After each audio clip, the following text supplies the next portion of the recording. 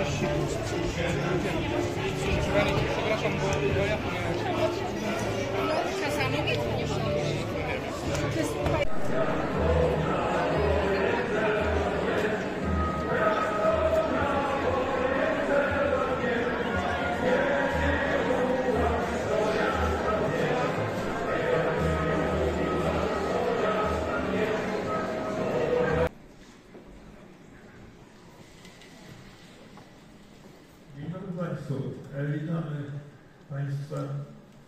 Narodowe Święto Niepodległości. Jest to dzień szczególny. Jest szczególny dla, dla nas, dla Polski, dla naszego narodu. Ale równocześnie mamy dzisiaj obchody 120-lecia istnienia chóru Wiktoria. Ale powiem tylko jedno życzenie. Jedno życzenie dla nas najważniejsze. Kochajmy Polskę. Dziękuję.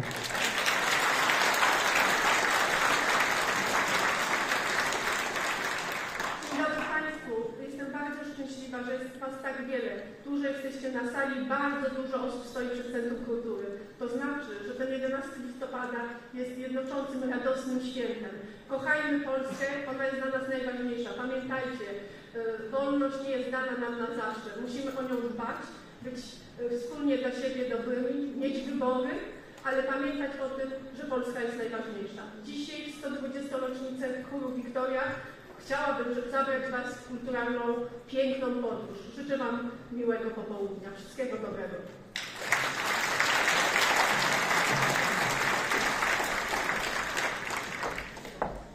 Witam Państwa bardzo, bardzo serdecznie, tak licznie zgromadzoną publiczność na dzisiejszej cudnej uroczystości. Drodzy Państwo, chór Wiktoria. Lata tradycji. Po, pozwolę sobie przybliżyć Państwu sylwetkę. Chór Wiktoria przy kościele Farnym w Ciechanowie jako najstarszy chór parafialny na Mazowszu, najstarszy chór parafialny na Mazowszu, drodzy Państwo, nawiązuje tradycję do założonego w 1903 roku przez ciechanowskie działaczki społeczne Marię Zakrzewską i Pannę Rajkowskie koła Wiktoria. Zajmowało się ono głównie organizacją tajnego nauczania, a dla zamaskowania swej działalności organizowało m.in. koncerty w wykonaniu założonego chóru kościelnego. W czasach zaboru rosyjskiego chór odegrał doniosłą rolę w utrwalaniu polskości poprzez programowanie i popularyzowanie polskiej muzyki sakralnej. Chór kościelny istniał jeszcze przed I wojną światową. Do roku 1997 chór prowadziło ośmiu organistów, a od 1 października roku 1997 zajął się nimi młody i wykształcony organista pan Dominik Molewski. który, proszę Państwa, myślę, że mogę powiedzieć, bardzo oddanie i profesjonalnie po dziś dzień zajmuje się chórem. Jest z nimi na dobre i na złe już od 26 lat. Brawo, Panie Dominiku. Poprzez wojnę i okupację zawarła się gdzieś nazwa, gdzieś zatarła się, zmieniła się, zmieniali się ludzie, ale chór nieprzerwalnie istniał. Dziś, po latach dla upamiętnienia aktualnej działalności patriotycznej Marii Zakrzewskiej i pani Rajkowskiej, powrócił do pierwotnej nazwy Wiktoria. W postaci 20-osobowego, mieszanego, czterogłosowego chóru. Mają na swoim koncie liczne nagrody. Pozwolę sobie tutaj przypomnieć, że posiadają medal pamiątkowy Promazonia nadawany przez marszałka województwa mazowieckiego pana Adama Struzika. Mają również e, odznakę honorową zasłużone dla kultury polskiej, przyznawaną przez Ministerstwo Kultury i Dziedzictwa Narodowego. Taką odznakę również otrzymał pan Dominik. W tym samym roku chór otrzymał medal za zasługi dla miasta Ciechanowa przyznawany przez kapitułę medalu przy prezydencie miasta Ciechanowa.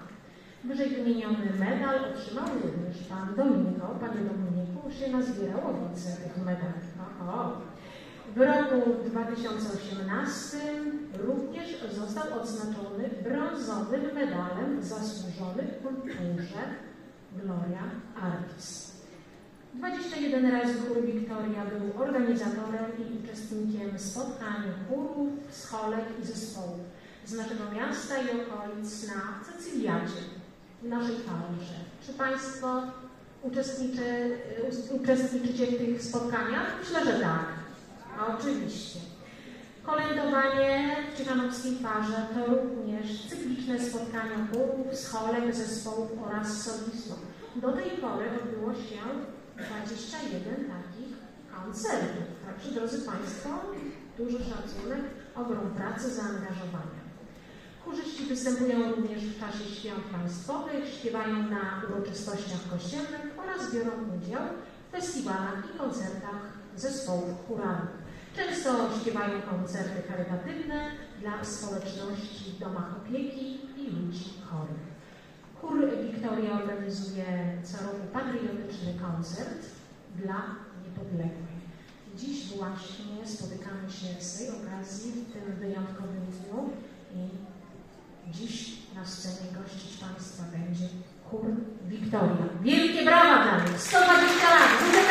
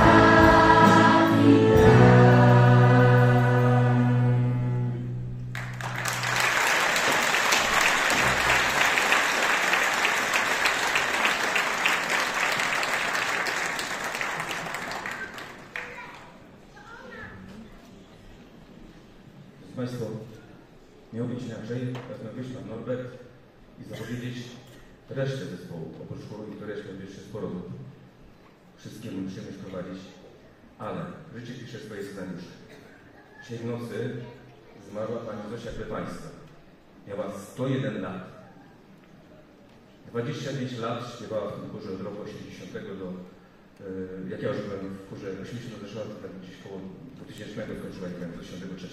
Yy, 2003 na stulecie chóru skończyły śpiewać, miałem ponad 80 lat wtedy. Prywatnie to jest żona pana Klepańskiego, który był wieloletnim kapelmistrzem orkiestry w Cichowie. On zmarł i Ułanem też. Ułanem był prawdziwym Ułanem, który walczył. Yy, w domu mają szablę, wybrałem tą piękną szablę, mają yy, tego pana Klepańskiego. Także tak się potoczyło. Mamy 120 lat istnienia. Zmarł chórzyska, miała 100 lat ponad. Proszę Państwa, przedstawię mi też wszystkie, którzy